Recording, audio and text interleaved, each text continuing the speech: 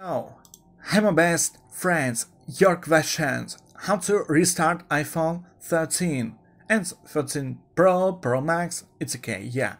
So now I show you two effective and best or the best methods to date how to restart iPhone 13.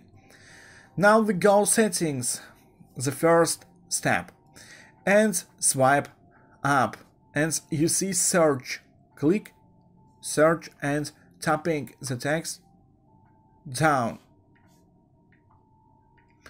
And you see shutdown, general, and you see these points. Click and you see slide to power off, left to right, and your iPhone turn off. Yeah.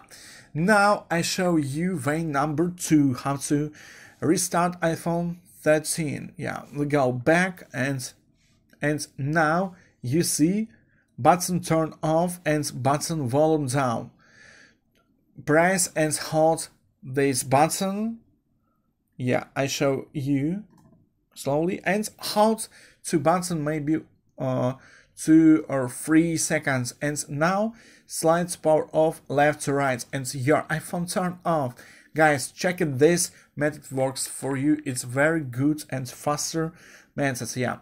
Please click like and write in the comments whether yours got up or not. Your like, yeah.